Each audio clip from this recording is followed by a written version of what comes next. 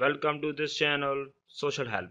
If you didn't subscribe this channel so far, click on subscribe button and bell icon to get notification of all videos. Thank you. Today I will teach you how to send a reaction to a, to a single message in Messenger.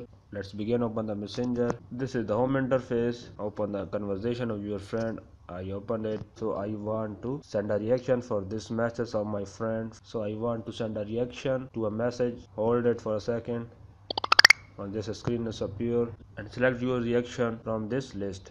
I will select this like like reaction. Now you can see this is a reaction sign from this single message.